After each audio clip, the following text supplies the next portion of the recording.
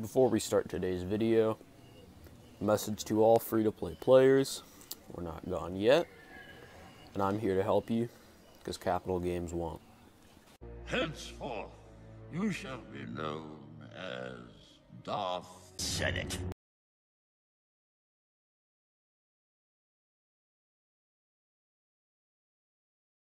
Hello there, and in today's video, we're going to be discussing the road ahead for Star Wars Galaxy of Heroes and how that would affect a free-to-play player.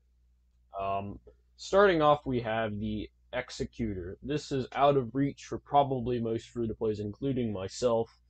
Um, and you might be thinking to yourself, hey, why would, why would I listen to this guy? He's only like a million galactic power. He's only played the game for a couple months or so, um, six, seven months, but uh, I'm just trying to tell you guys to calm down. It's not the end of the game. It's not the end of free to play. End of free to play comes when every single free to play player does not have fun with the game anymore or quits playing the game. Which this game is still very much playable, it's just slightly less enjoyable with these changes coming up. Um, so, time to talk about the Executor, Darth Vader's flagship, which they're using Piett to pilot it, which I'm assuming it's because Vader already has his tie advanced, uh, and he can't really pilot two ships. But yeah, it's Vader's Star Destroyer, and it's manned by Piett. So, of course, we take these all very, very seriously. And all about more, more, more, more, more, more, more. You need Piett at Relic 8, you need Boba Fett at Relic 8. This is like a Galactic Legend ship. Um, I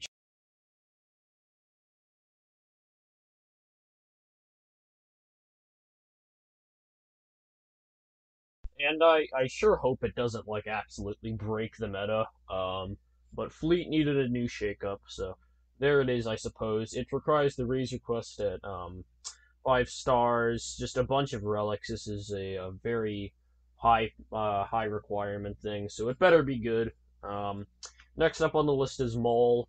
There's nothing really to talk about him. Uh, he's just another conquest character. He might make the Mandalorians a bit better. Um, and rounding out the um, good part of today's um, video, or at least the good part of the road ahead, Lord Vader.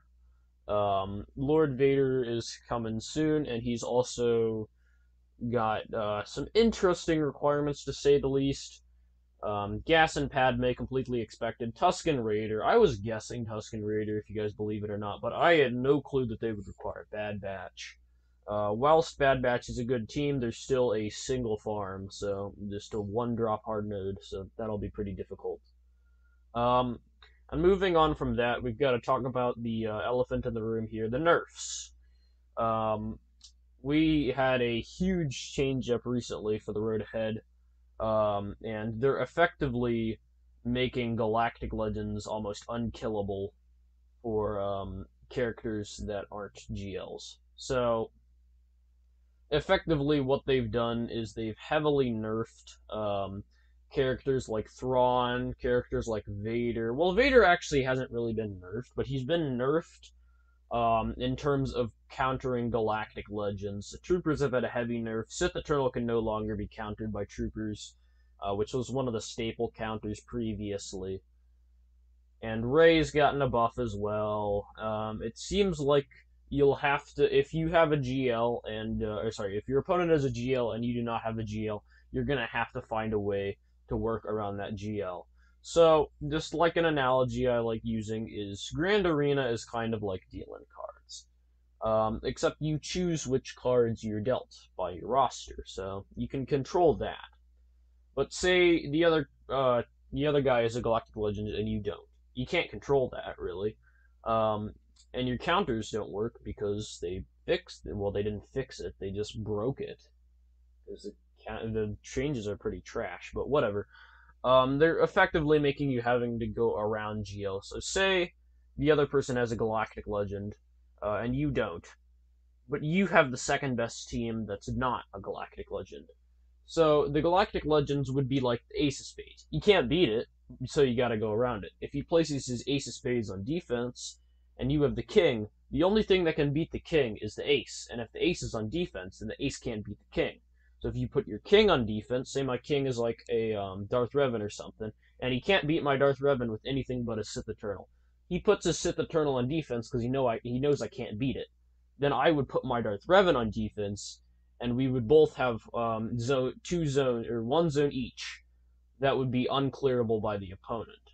So effectively, my Darth Revan just turned into a galactic legend there because of how I played. And obviously, this is not going to be 100% accurate every single time, but it's just a strategy that you guys can use up against galactic legends.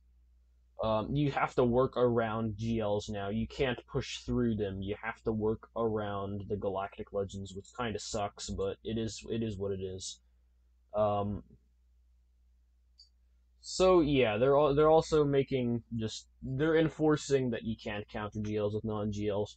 There probably still are some counters that still exist, but they're probably either very sketchy or they're they're, they're not hundred percent um, working because they've heavily nerfed Thrawn, they've heavily nerfed Gideon, so they can't counter GLs, which apparently they um think creates a much more healthy meta long term is better for the game. I'm not sure why. Maybe one of them was like really drunk whilst riding the road ahead or something. But they have retracted some things before, and I I hope that they do this because this is not really a great change.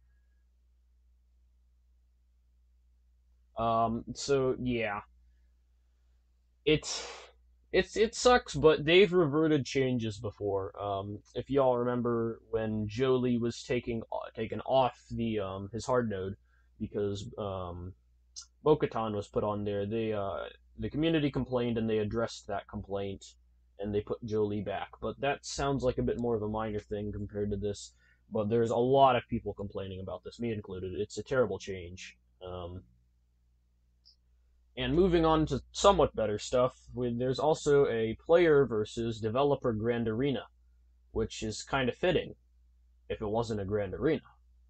But um, yeah, that's really nothing much to talk about that. Obviously, I'm not going to be participating. I don't think I'm not near famous enough. Um, and basically, yeah, uh, it sucks. They've nerfed a lot of characters like completely into the ground. Um,